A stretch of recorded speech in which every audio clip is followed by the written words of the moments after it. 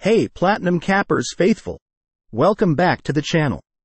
Today, we're diving into a NCAAF Week 11 showdown that's going to have all eyes on Gerald J. Ford Stadium this Friday, November 10th.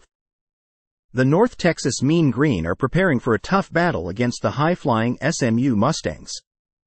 North Texas is aiming to flip the script on their season, while SMU is looking to gallop even further ahead in the standings. Now, let's break down the game that's got the college football world buzzing.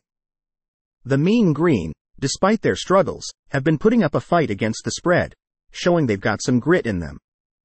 Ayo Adeyi's been tearing up the turf, and Ja'Mori Maclin's been snagging touchdowns, making this team a potential dark horse for your bets. On the other side, the Mustangs, with a stellar 7-2 record, are not just winning, they're dominating. Knighton's been slashing through defenses, and Bailey's been racking up the yards.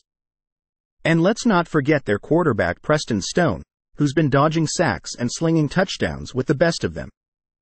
In the quarterback duel, we've got Chandler Rogers of the Mean Green, who's been fighting through sacks to keep his team in the game.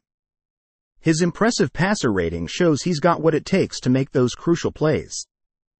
But he's up against Stone, whose arm strength and evasion skills have been a game changer for the Mustangs. The betting odds are tipping heavily in favor of SMU, with a hefty 13.5 point spread suggesting the oddsmakers see them running away with it. And with a total of 67.5, they're expecting a shootout under those Friday night lights. The Mean Green have been covering the spread like pros, especially when it comes to away games, making them an intriguing pick against a Mustangs team that's been unstoppable at home.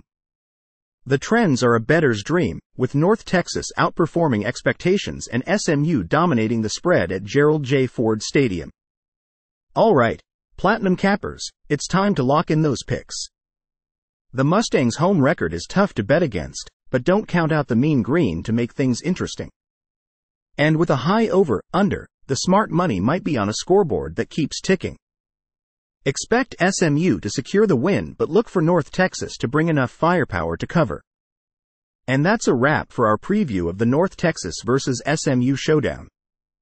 Thanks for tuning in, and remember to like, comment, and subscribe for more expert picks from Platinum Cappers.